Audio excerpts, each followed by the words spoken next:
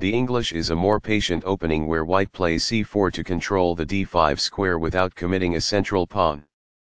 c5 meets c4 with a symmetrical approach to controlling the center. nf3 develops the knight and controls the d4 and e5 squares.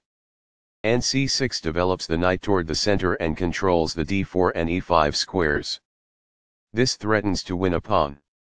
After all captures, this is an equal trade. Takes back.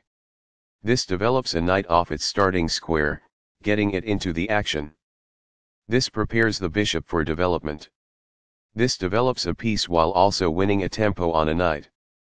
This moves the knight to safety. It is good. The bishop is ready to be developed to an active square. This develops the bishop and gives it scope on the long diagonal. It is the last book move.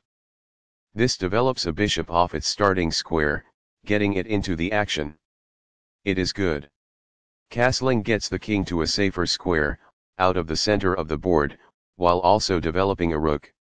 Castling kingside tends to be safer because the king is further from the center. It is good. Castling gets the king to a safer square, out of the center of the board, while also developing a rook. Castling to the same side of the board as the opponent avoids some of the attacking associated with opposite side castling. It is good.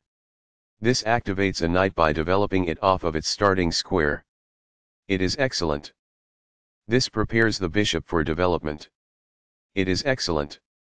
That's not a mistake, but it's not the best move either. It is good. One of the best moves. It is excellent. This is a fair move. It is good. This develops a rook off its starting square, getting it into the action. It is best. This activates a bishop by developing it off of its starting square. It is best. This connects the rooks, which helps them coordinate together in the future. It is excellent. This is not the right idea. It is an inaccuracy. This threatens to fork pieces. It is excellent. A very strong play. It is excellent. That's a sensible reply. It is excellent.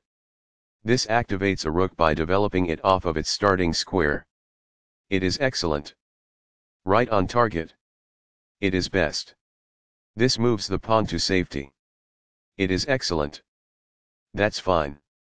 It is good. This misses a much better move. It is a mistake. Very precise. It is best. Balanced neither player ever had an advantage. That game was pretty competitive. Black played better than white in the opening. That was a well fought middle game that black got the better of.